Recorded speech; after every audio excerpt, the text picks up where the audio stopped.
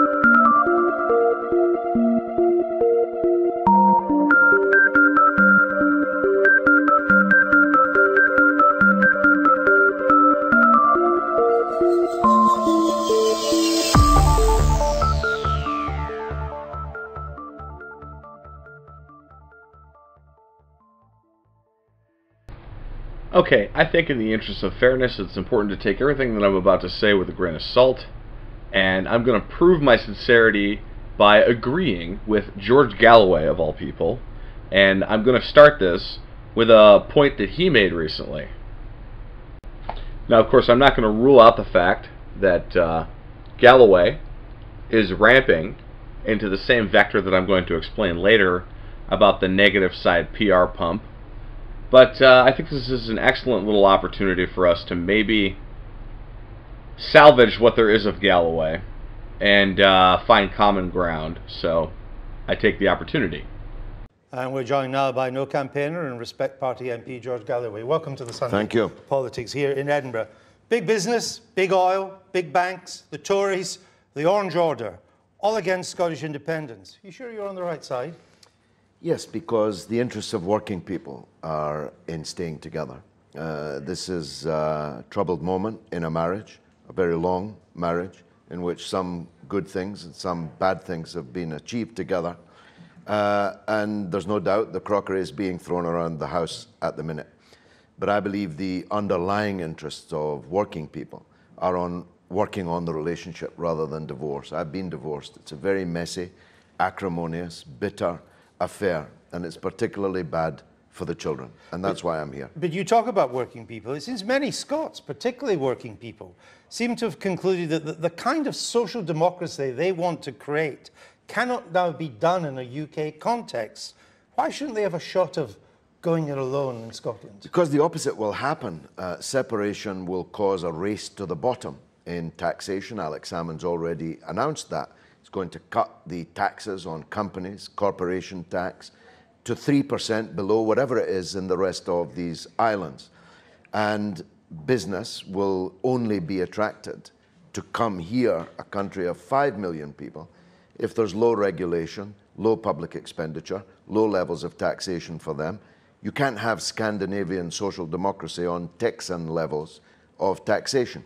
And the British government, as will be the rest of the UK, will race Salmond to the bottom on this. He cuts it by three, they'll cut it by four, and so on.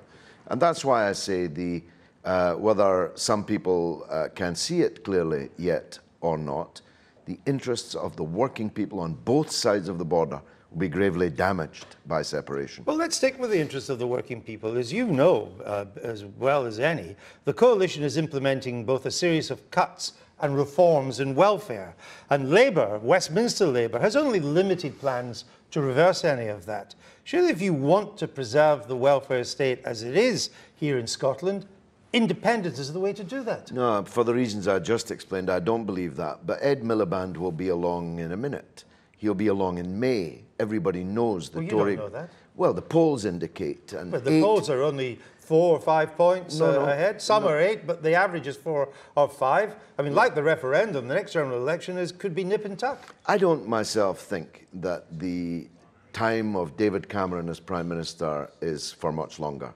I think there'll be a Labour government in the spring and a Labour government in London and a stronger Scottish Parliament, Super Devo, Super Devo Max, that is now on the table, is the best arrangement for people in this country. But George Galloway, the, the people of Scotland surely cannot base a decision on independence on your feeling that Labour might win the next general election. Well, it isn't my feeling. I think when the Tories were beaten on the bedroom tax last week in the House, it was written all over the faces of the government side. Uh, not only that they were headed for defeat, but probably a massive fissure with the breakaway to uh, UKIP and the rest.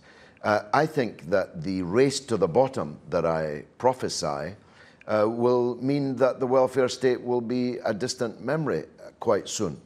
Uh, the, the cuts and the run on the Scottish economy here in Edinburgh, the financial services industry will be uh, gravely damaged.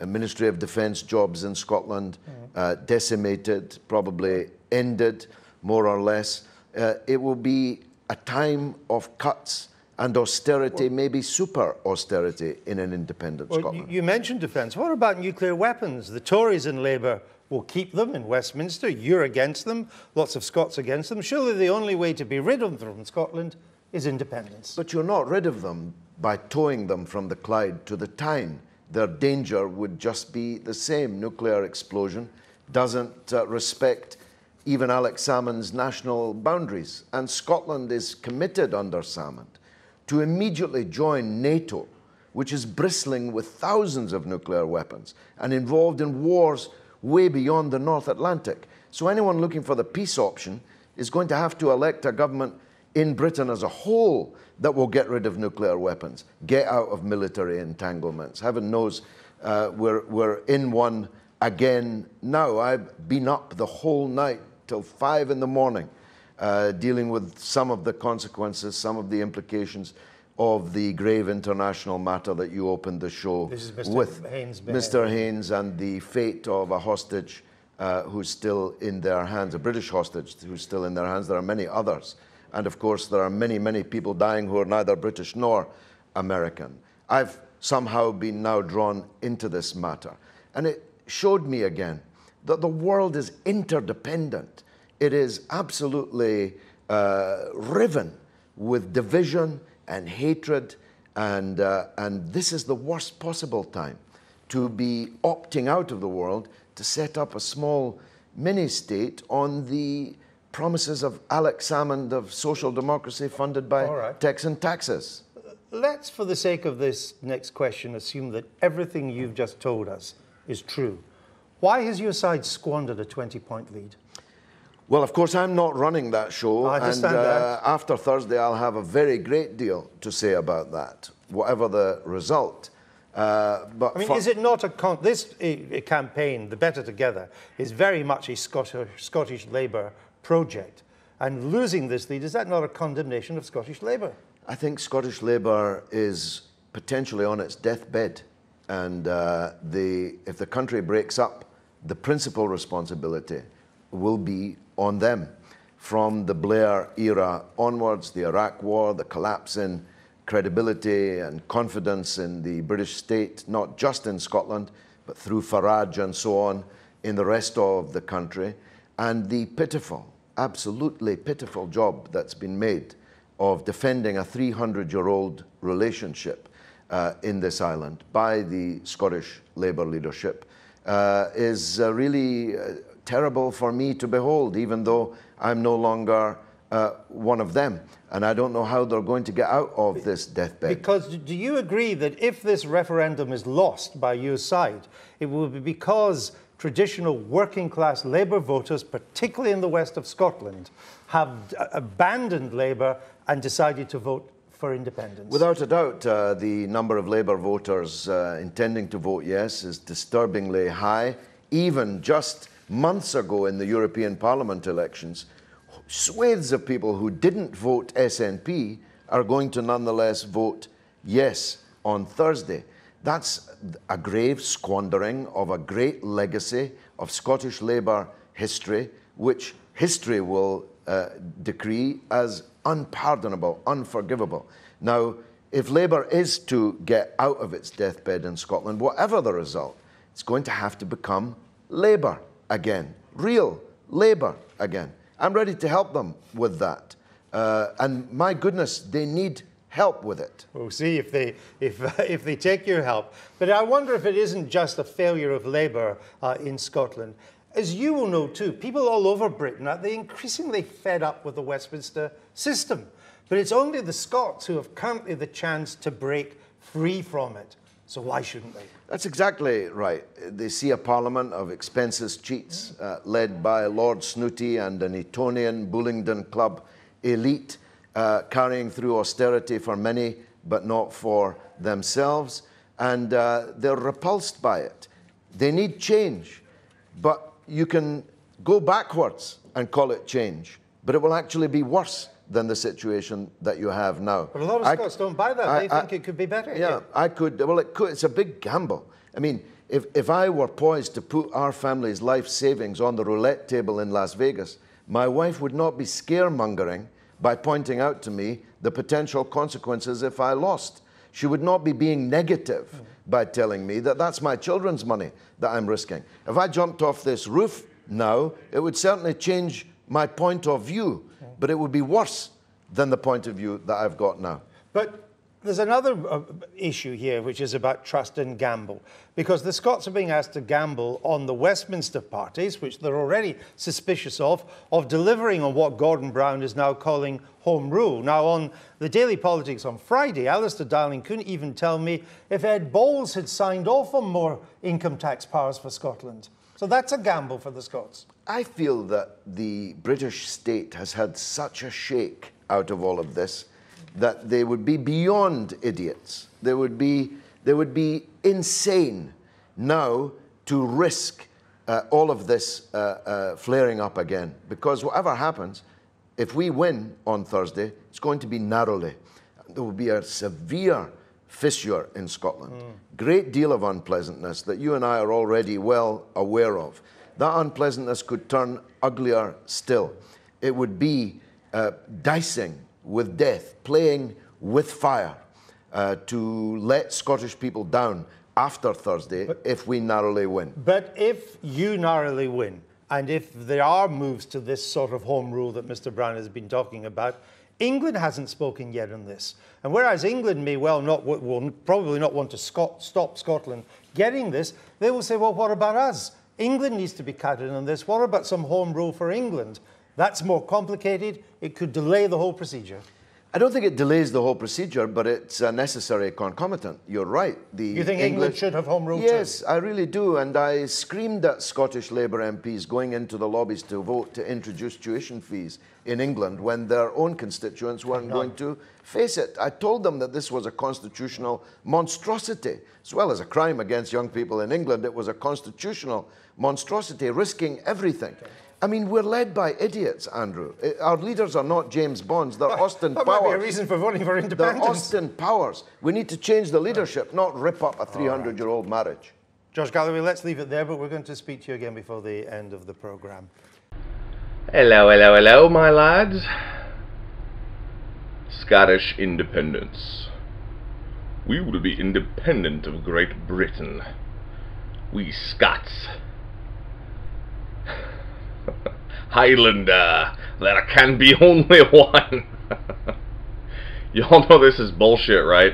You all know this is exchanging um, a participation in, you know, Great Britain, which is actually relatively positive for Scotland and their economy, the people in their economy, and has allowed them to move the ball down the field towards soci- toward a socialist utopia. If you think about it, you wouldn't have all of this largesse. You wouldn't have half the country on uh, basically subsidies or you know some kind of unsustainable fucking government benefit, basically. If it weren't, especially if you're not going to develop your energy because you're too green and it's too for the earth. Uh, blah blah blah. Hang on. Okay, enough joking around. Let's cover some of the major points. This is some pretty serious shit, actually, because we're on the verge, basically, of Scotland going into a Cyprus 2.0 style situation. Now, it'll look good for about one or two years, right? Maybe three years. It'll look good because they got to sell the changeover, just like with uh, selling the changeover to Asian precious metals markets. You have to sell the changeover, and the pump metrics surrounding the actual phenomenology basically tell you everything you need to know. So let's look at it um, in greater detail here because apparently everyone is getting this fucking story wrong and dicking around in the foreground analysis. Even InfoWars basically has Scottish John on as an expert in European politics. No, I'll never get on. I'll never be on the Alex Jones show, but Scottish John can go on there and ham-fistedly dick around in the foreground analysis for 30 minutes. I digress. Uh, okay, so indyref. Uh, what is it? What is Scottish? Ind- what is this? Why suddenly? Why suddenly Scottish independence? Okay, on one on one level, it is. Uh, let me explain something esoteric to start with. On one level, it is a giant meme pump uh, that makes the Brexit right that modifies the sentimentality and methodological ramping toward a Brexit. Uh, it calls it into question. It calls it into question. People say, no, isn't this kind of positive? See, as Scotland is leaving Great Britain, so too what is left of Great Britain shall leave the EU. No, no, no, no, just the opposite. And uh, that leads me into my second point, which is what Brexit, the main component of Brexit. The main component, i or the main component of, Sc- of IndyRef, of Scottish independence, is this. It is there to tamp down UKIP. UKIP has created a situation. It's very clear that look at look at the last elections. Last look at the last European elections. UKIP is now uh, really in a position to force a Brexit. And Cameron wouldn't, old cast iron Cameron wouldn't even be fucking paying lip service to this issue if it weren't for the fact that UKIP has risen and is rising. Because, and what is the force? What is the real secret, super secret agent squirrel behind UKIP? You know what it is? It's average people who are pissed off and they're tired of being raped. Uh, they're tired of the fisheries. They're tired of Britain being destroyed, culturally imploded, etc. They don't want uh, Britain to end up like Sweden, and it's not because they're racist. Oh, you don't want to be a melting pot, you're racist. Uh, no, no, no. It's because they want to preserve their culture. And I'm not going to go in too much to, because this doesn't really serve the argument about Brexit, but it's very clear if you study human history that as early as, uh, you know, 400 AD, you have elites utilizing populations against each other in this fashion. Right down to the calling people racist if they don't accept the fact that their culture is being eroded by the influx of another group of humans who essentially are populists, and most people don't even know what the hell populism is. It's uh, it's if I come here from uh, Mexico, but I still have fealty toward Mexico, and I'm not interested in the culture or traditions of the United States. That's pluralism. That that would be an example of a pluralist. But let's not get too far afield here. Ah, delicious coffee. Um, this is about tamping down UKIP. UKIP has created a situation that threatens EU dominance. What is the European Union? The European Union is a new world order, block structure, initial public offering. Block structure, like the North American Union, which for all intents and purposes doesn't exist on the one hand, but on the other hand, here's UNESCO, here's NAFTA, here's CAFTA, here's GATT, here's TPP, and now here's TTIP that's going to merge the North American Union, although it doesn't exist, and you're a conspiracy theorist for suggesting that it does going to merge the North American Union with the European Union. And all you need to do is look at that post World War II map uh, to get a good sense of uh, what I'm talking about here. Christ, did I say UNESCO? I meant NASCO, Super Corridor. Getting my conspiracies mixed up. It's all so complicated. No, but UNESCO, let's face it, UNESCO does help prime the pump for all of this. Right? It helps prime the pump by teaching people, by giving people an educational formatting that that uh, teaches them it would be racist if I objected to having my country culturally imploded. Very racist. Uh, so let's let's let's stick on the tack here. New World Order block structure initial public offering. Okay, this is like the BRICS that they're forming. BRICS is another power block being formed by the New World Order, basically. But then most people don't understand China. They don't understand China is a New World Order laboratory, stripped down and rebuilt from scratch. I made a video on this that nobody watched. So I'm going to go ahead and make another video on Scotland on IndyRef that no one will watch in an attempt to somehow at least assuage my own conscience.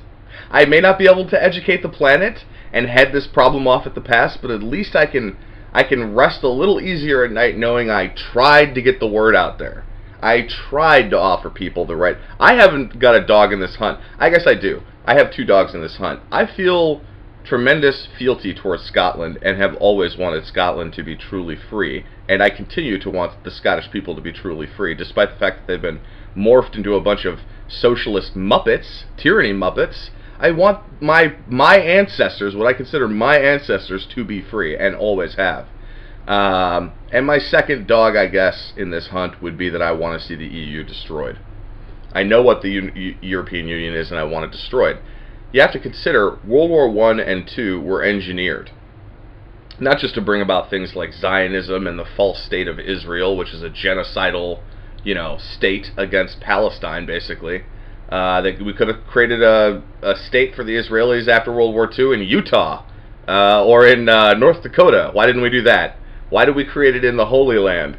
Well, there are various reasons, of course. Uh, it's much more complex than I can get into, but it's important to understand that the creation of a false Israeli state, a mockery of Isra- of what Israel should be, um, is important to understand. It's important to understand the phenomenology, the morphology, because this is the kind of shit they pull all the time. If you want to dominate uh, a point of contention, the best way to do it is to is to manufacture the controlled opposition and run it yourself, just like with uh, Mossad creating Hamas. If you want to turn the if you want to turn this region into a open air weapons testing laboratory on human beings, you have to create something like Hamas so that you can continually engineer synthetic casus belli.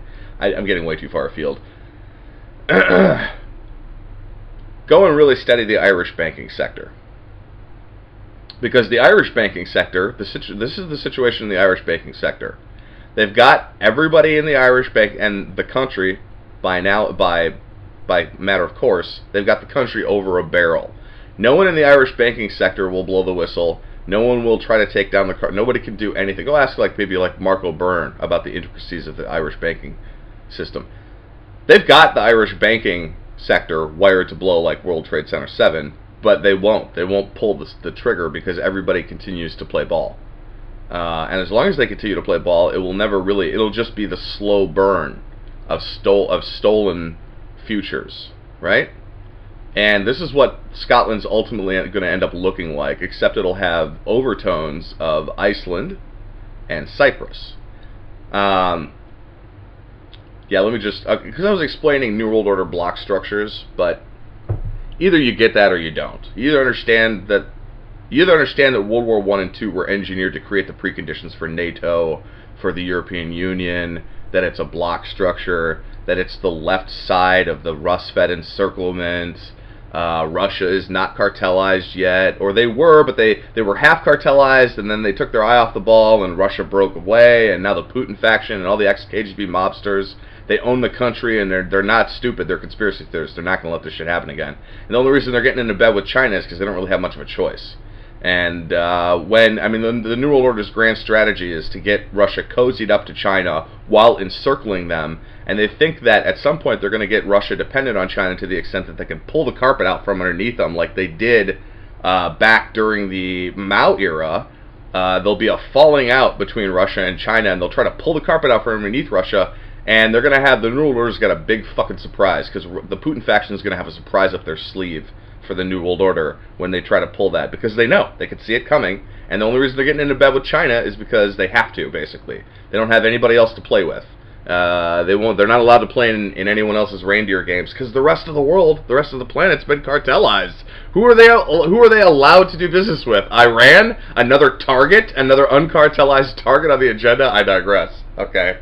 But just understand that World War II, 1 and 2 were engineered to turn Germany into the corpse prince of Europe. And now, look which economy defines the economics of the Eurozone. Oh, it's Germany. Oh, what a fucking, what a shock. I'm fucking shocked by that. I'm shocked to find gambling going on in this establishment. Here you're winning, sir. Oh, yes, thank you very much. Uh, okay, uh, IndyRef. It's about tamping down UKIP.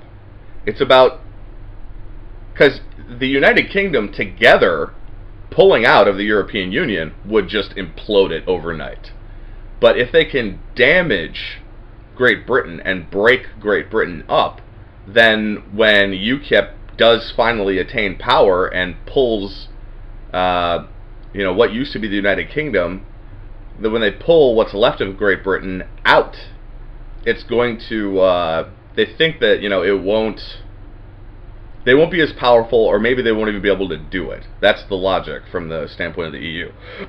Okay, so we know what it's about. We know what Brexit's really about. Now, at the same time, there's some tasty hydrocarbons to get our hands on. And uh, the dogs, if you're going to engineer this situation, if you're going to get Scotland to break away from Britain so that a Brexit, the, the, the Brexit thing being on the table, that package gets modified substantially so that the Brexit looks weak. If you're going to engineer all that, you're going to have to feed your dogs, your mercenaries. Now, we all know, anybody without their head shoved straight up their own ass knows that the SNP is literally created, engineered, manufactured by the European Union. And it's the same reason that in the United States, basically the government quietly sponsors radical groups. The more radical, the better, because it's about ordo ab chaos. Um, and you can see this straight across, and even Nigel Farage just like constantly harped on this. Of course, he, I don't think he really understands it, but he understands the baseline logistics enough to argue, okay, well, creating a federal superstate of Europe where everybody basically has to uh, play ball like Germany and can't, and so they all end up paupers at the foot of Germany, who is like the crown prince of Europe, uh, this is going to create ultranationalistic behavior and ultranationalism in these various countries. And we see that.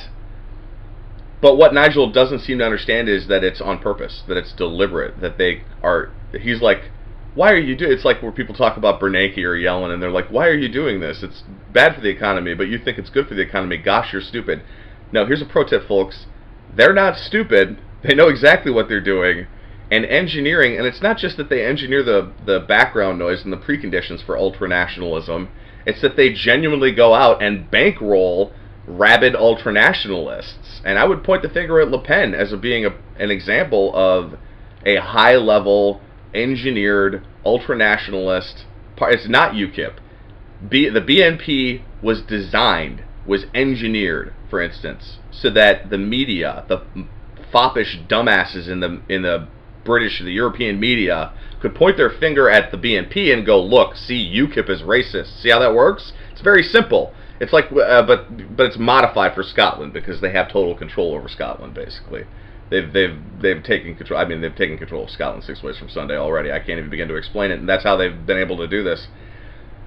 I digress. I won't go into it too much. Uh, too much more. There's no point in explaining all the phenomenological. There is, but I don't even know who the hell my audience is. I don't have an audience. So, you know what? I should just give free reign and just talk. Because I, I'm just talking to myself anyway. So screw it. I mean, you might be listening to this, and I respect the hell out of you for listening. And if you genuinely understand all of this, then gosh, you know, you are allowed to sit at the table with me. But, uh, I don't know who the hell I'm even talking to anymore. If Alex Jones can't figure this shit out, we're all in a lot of we're we're in a lot of trouble, folks. Alex has got one of the best minds when it comes to sorting this kind of shit out, and he doesn't understand Europe. I'm gonna just chalk it up to the Infowars not understanding European politics and being too busy in too many other areas to really look at the nuances here. And hopefully somebody on the Infowars news desk, news desk will listen to my analysis. But whatever, because uh, it's like watching a train wreck in slow motion. You know, there's nothing anyone can really do to stop it at this point. The 18th is rapidly approaching. Oh, by the way, guess what else happens on the 18th? A certain Asian gold market goes live. A certain Asian gold contract basically goes live. Oh, let's just ignore the timing though. Um, okay, so tamping down UKIP in order to stop a Brexit. This is about solidifying EU dominance in the Eurozone, and it's about tamping down UKIP. That's what it's about. But in order to engineer it, you also have to pay the dogs. You have to like like Salmond is a high-level merc. The SNP was literally engineered by the European Union. It is a European Union adjunct. Okay. Um, but let's talk about the, the back end, the metrics here.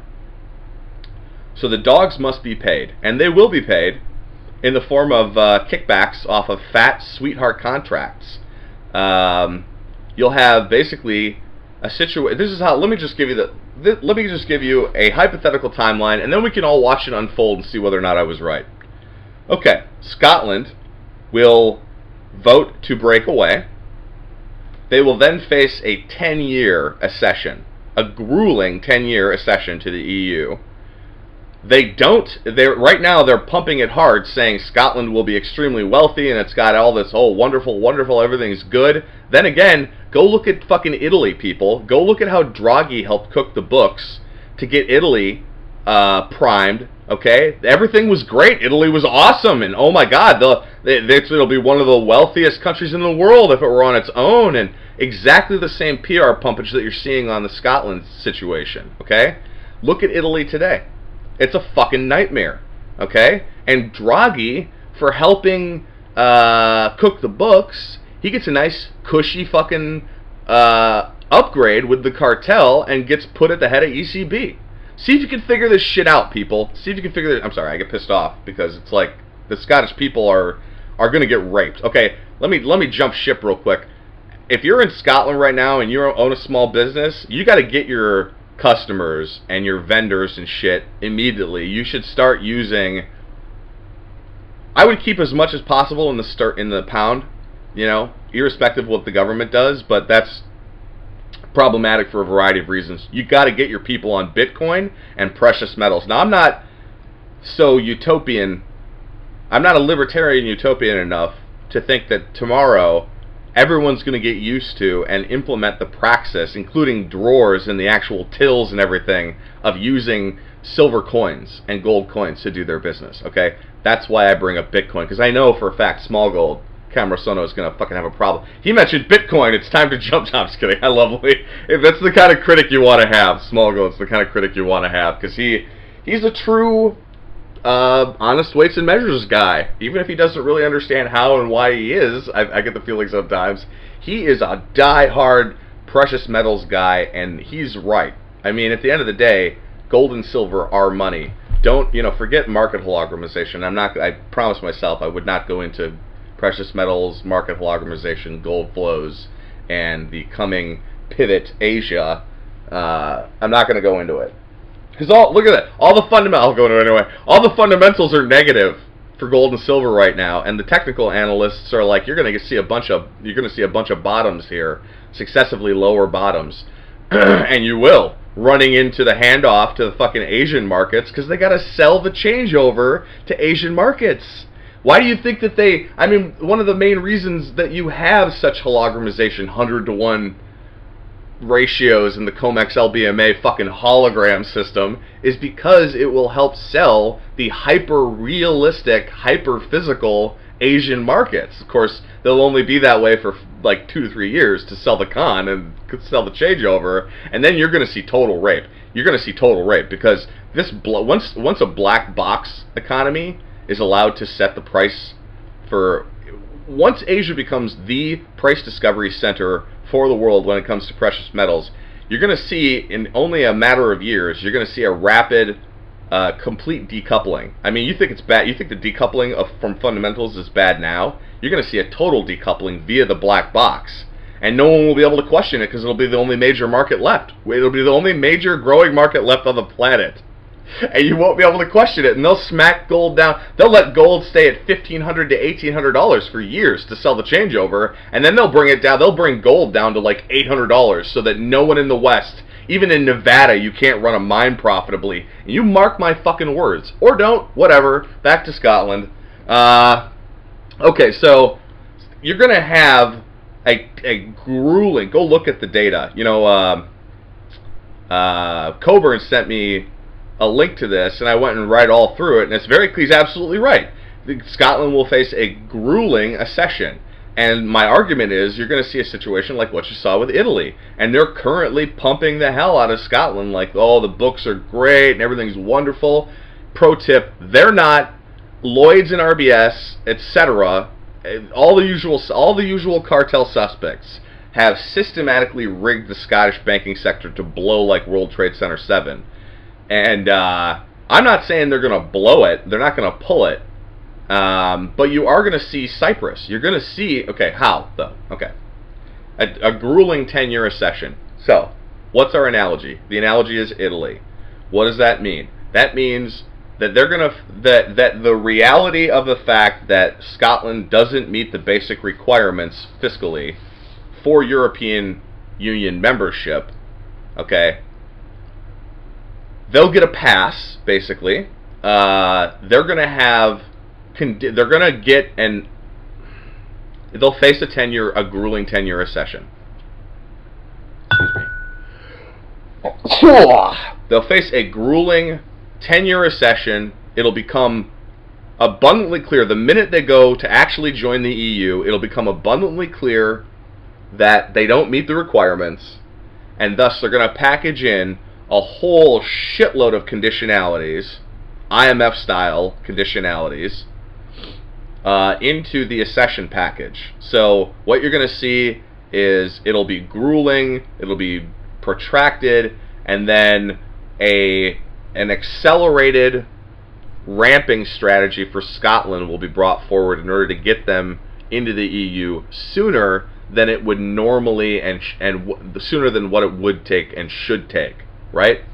And the conditionalities will basically line up at the asset forfeiture, just like Cyprus, just like Italy, whatever you want to talk about, whatever other petty EU fiefdom that used to be a sovereign nation state that is now just being raped by the New World Order via the EU. Um, so yeah, and those conditionalities will ultimately result in asset forfeiture when Scotland can't pay the bills. And so what is the result? The result will be bail-ins the result will be the bail-in regime. The result will be capital controls, okay? And so Cyprus, you know, basically, um, but with a Ireland beer back because it'll be more it'll be more gradualized and it'll be more, you know, here's here's all this pressure to get people in the Scottish banking sector to play ball because if you don't, we'll pull it like on World Trade Center 7 and the whole thing will come down. So it'll be more the threat of Cyprus with mild Cyprus bail-in regime and capital controls. Uh, and ultimately, it is about asset forfeiture because again, the dogs, if you want to engineer all this shit, the dogs must be fed, and somebody's got to get a kickback somewhere. And the only way to engineer a fat, juicy kickback pipeline is to make Scotland cough up their hydrocarbons and then hand that off to China, like CNOOC Chinese shell companies, basically. Um, like in Iceland, you know, everybody's like, "Oh, Iceland's so wonderful. They kicked out the banks." Oh, really? Uh, yeah. Let me. I've I've gone into this before. Let me go into it again. Iceland today is there is no freedom outside the cartel. You either destroy the cartel, and thus there can be freedom outside the cartel, or entities which exist outside the cartel are basically like free game, or they're like free game. Uh, they're like uh, anyone can hunt them. And it's very clear if you look at CNOOC and Sweden getting together to, to drill the offshore Icelandic hydrocarbons, that how this works. And the analogy is George Soros in Argentina. So Soros, Soros, for years, is pumping via the media and, and controlled hijacked government, blah blah blah. He's pumping the green agenda in Argentina for years and years and years to set up the field so that he can later come in and uh, and double down on the hydrocarbons and make serious bank. And George Soros is a perfect example of one of these of mercenaries of, of dogs of the New World Order who must be fed, but who are extremely useful and instrumental in engineering this kind of crap. And the same thing has happened in Scotland. It's like, oh, we can't develop the hydrocarbons for the earth. And the same is true in, in Britain, by the way. Britain's got fucking onshore too, and they're not allowed to develop it because it's for the earth, and that would be that. But let's go ahead and go to fucking war with Russia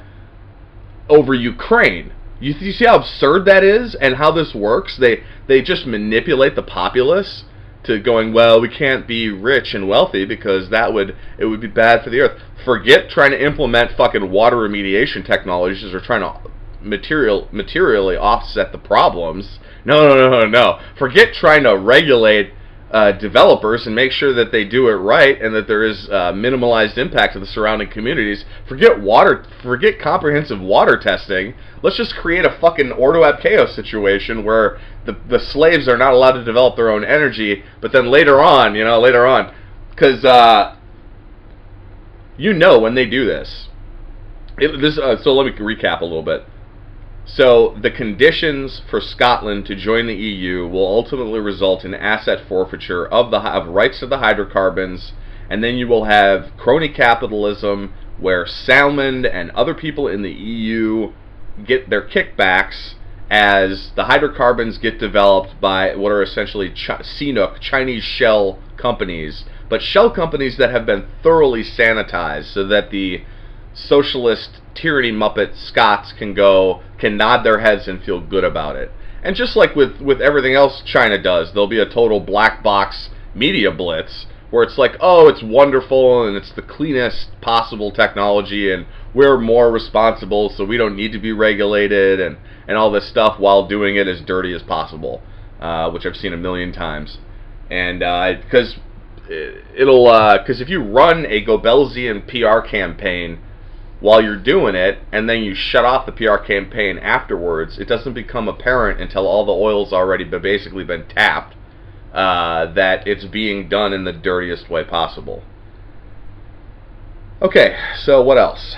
What else? Uh, it's a con job about tamping down UKIP, and Chinese shell companies will ultimately be tapping the hydrocarbons. The Scottish people, meanwhile, are going to get fucked in the ass by capital controls, by being part of the euro. Uh, you know, there's a variety of ways that the Scottish economy is basically going to be friggin' imploded quietly, subtly, incrementally. Impl- I say imploded. It, over time, it's going to be, you know, over a long period of a very slow implosion um, in order to really get an iron grip on the Scottish people. Okay, yes, uh, some other aspects. Um, for instance, who are some of the people, who are some of the leaders in selling the no, outside of like UKIP or something legitimate?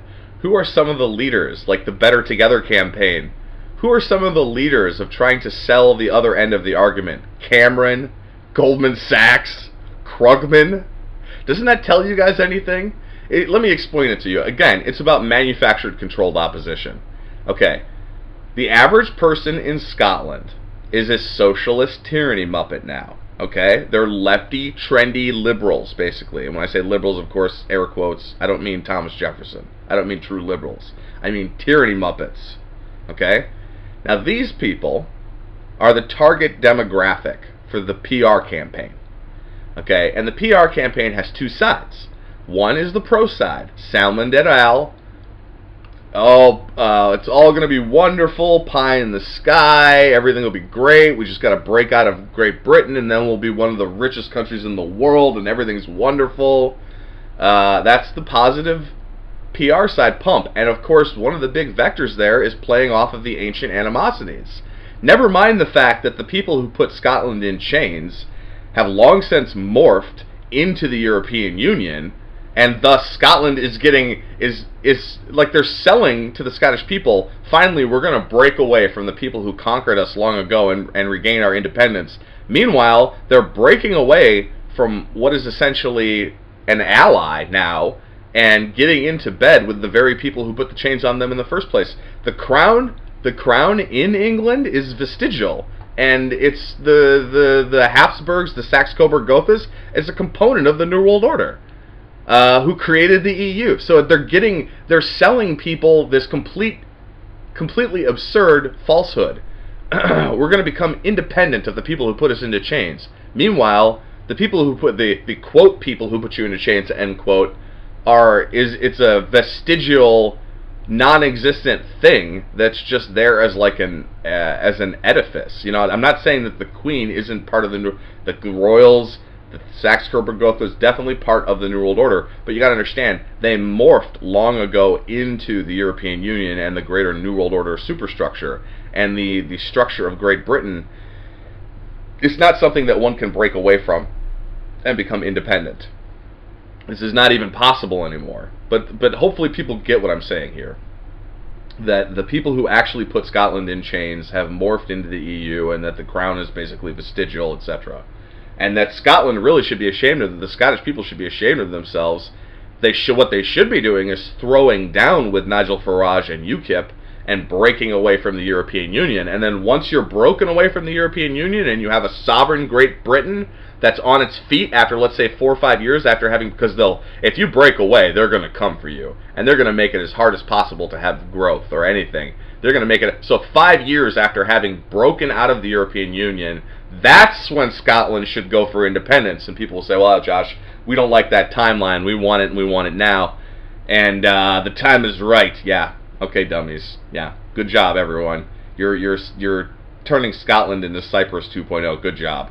I can't I can't wait to be proven uh, right because on some level I I I am more arrogant than because it's like look I feel like it has to happen. I feel like the Scottish people need a fucking wake up call.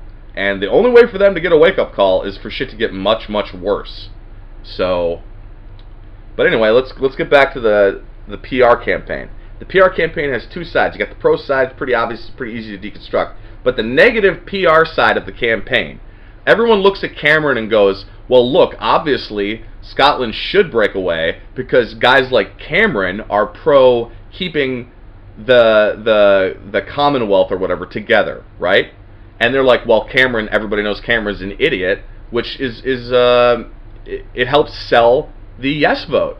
It helps sell it to have Cameron doing a tour, a cheese tour of uh, of uh, Scotland, pumping the Better Together campaign.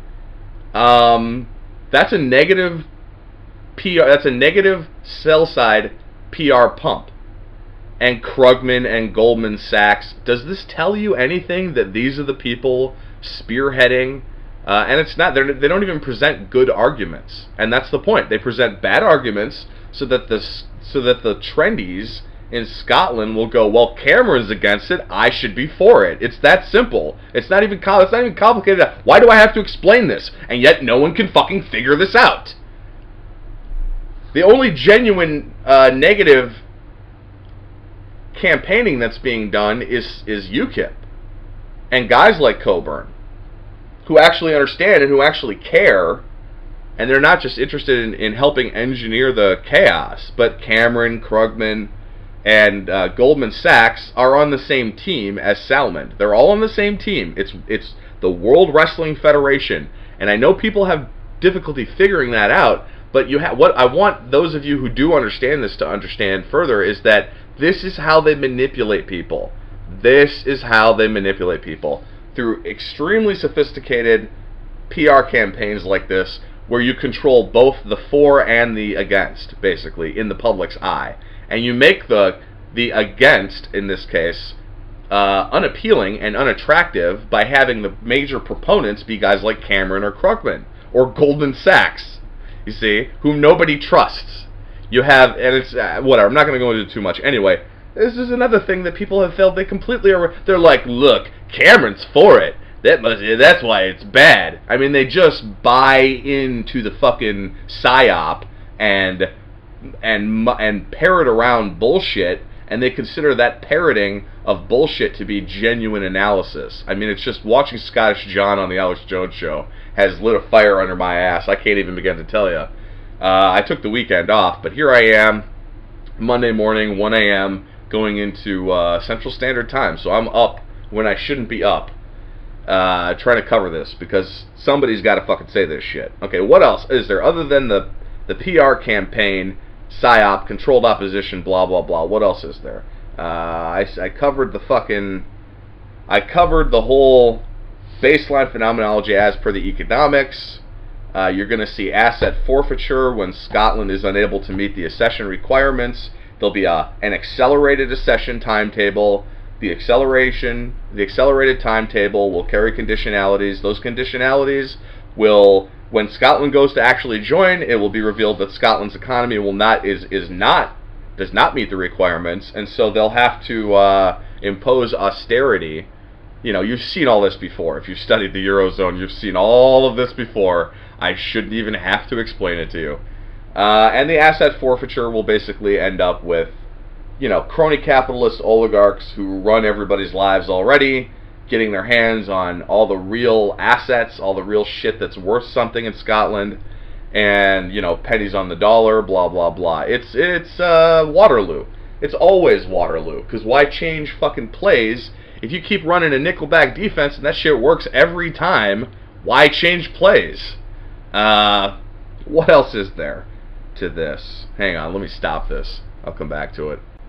Alright, whatever. I'm just going to pull the plug right there. I wrote a nice little bit of analysis on uh, some Zero Hedge article recently.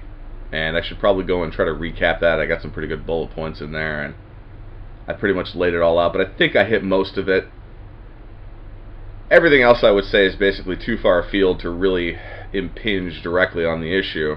It might be relevant, but it's probably not going to be relevant to the, so I should probably cut this short. But uh, let me just recap again. IndyRef is about tamping down UKIP and solidifying EU dominance. That's what it's about. And the Scottish people are being sold down the river in order to make this, uh, you know, variability a reality uh, so that uh, the Brig- the Brexit looks weaker, and probably won't happen as a result of Great Britain being broken up. Uh, it is a balkanization of Great Britain by the European Union, and if you can't figure that out, do me a favor and unsubscribe now. I don't, I don't know what to say to people, but those of you who do understand all this, God bless you. Soldier on, steady on, good my my good lads. I I swear to God, if we can if we could simply go into the breach and take the field, the enemy will fall before morning. I swear. Uh, because all of the opposition, they're a bunch of foppish idiots, basically. We're real people, okay? We're real people, and we have the advantage of being real people. But we have to feel good about it, and we have to take advantage. It's like everybody jumps Alex Jones's shit when he goes on uh, uh, whatever it was with Andrew Neil, you know, and like tries to just basically speak the truth. And Andrew Neil tries to make him look like an idiot, you know, and a crazy person, and literally does the the hand gesture, "I'm a cuckoo" gesture at him. Uh, but no, what's required is to snap people out of their fucking trance. People are like zombified, You have to you have to shake them up. You got to wake people up, man. Because and it's not just that; it's the people are afraid. They know. A lot of you maybe are are aware of this. You see around you people who know, but they they can't and won't commit to what they know because they're afraid. Well, it's time to take the fucking gloves off, people.